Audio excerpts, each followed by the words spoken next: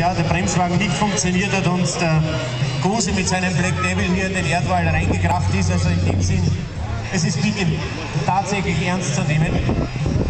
Bitte dort nicht zu stehen. Wie gesagt, nächster am Start. Final Destination.